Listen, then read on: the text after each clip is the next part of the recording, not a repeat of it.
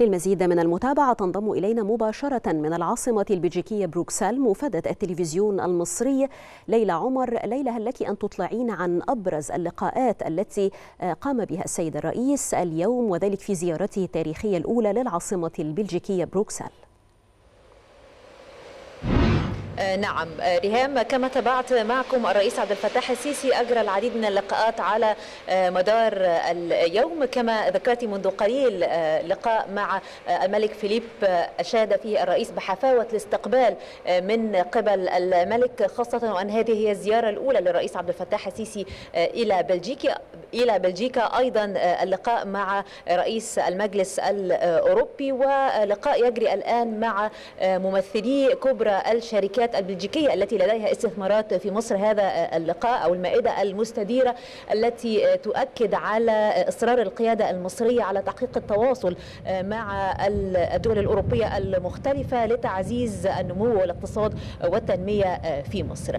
ريهام أيضا صباحا لقاءات الرئيس مع ثلاث شركات تعمل في مجالات مختلفة منها التكريك والحفر وأيضا ما يتعلق بالبحرية والطاقة المتجدده طاقة الهيدروجين كانت إحدى المحاور أو الهيدروجين الأخضر التي كانت في المباحثات الصباحية للرئيس عبد الفتاح السيسي والشركات البلجيكية وكيف يمكن أن تدعم مصر في مجال الطاقة النظيفة خاصة أن مصر لديها إمكانيات في الطاقة المتجددة سواء طاقة الرياح أو الطاقة الشمسية وكان هناك حديث عن مشروعات ستقام فيما يتعلق بالهيدروجين الأخضر في مصر خلال الفترة المقبلة أيضا دور لإحدى هذه الشركات في حماية الشواطئ المصرية شواطئ البحر المتوسط من التآكل بسبب ظاهرة تغير المناخ التي أصبح لها تأثيرات سلبية كثيرة خاصة فيما يتعلق بتآكل الشواطئ على مستوى العالم وتهديد المدن الساحلية. أيضا إحدى الشركات أو رؤساء الشركات الذين قابلهم الرئيس في هذا الصباح تحدث مع الرئيس فيما يخص هذه النقطة. ريهام غدا هناك لقاءات أخرى للرئيس عبد الفتاح السيسي قبل بدء انعقاد قمة الاتحادين الإفريقي والأوروبي. سيكون لديه لقاء مع رئيس وزراء بلجيكا بالإضافة إلى لقاء آخر مع رئيسه المفوضية الاوروبيه أرسولا فاندرلاين بعد ذلك يتوجه إلى القمة السادسة. هذه القمة التي تسعى لتحقيق الشراكة والتنمية بين القارتين الأوروبية والإفريقية من خلال دول الاتحادين من أجل وضع خطة تنموية لعام 2030 تعمل على تعميق الشراكة وتضع آلية تنموية جديدة وتمويلية تقدم من الاتحاد الأوروبي لدول القارة الإفريقية من أجل تقديم الدعم لهذه الدول وتوفير فرص العمل فيها ودعم البنية التحتية.